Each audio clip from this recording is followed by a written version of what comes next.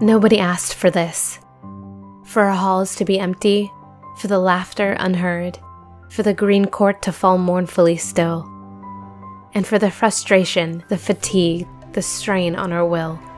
It's worst, of course, to be pulled apart by circumstance and a greater need, but that makes it no less hard to heed when we miss our school like this. But we know in time, however many or few, we'll be Lyman again like we Caymans do. And we're telling you now, we're here for you. Ours is a community that's stronger than distance can untie. So whether you're on the other side of the world or still nearby, you're no less ISPS. This community has not skipped a beat in getting to its digital feet and making our learning the best of its kind. So, what we have now is time to use.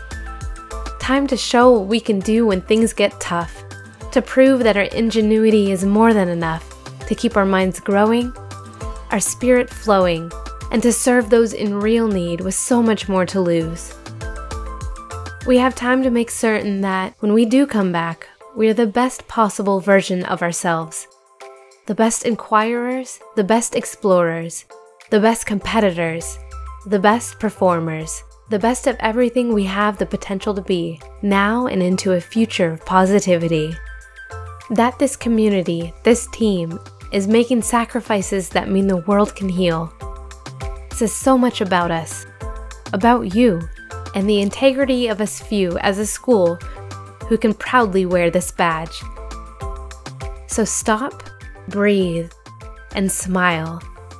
Things have been tough for now and may still be for a while, but together we're more than this trial. When we return, whenever that may be, Remember how we've come to see that being apart in person can never break us. It's only caused us to focus on how much it means to be.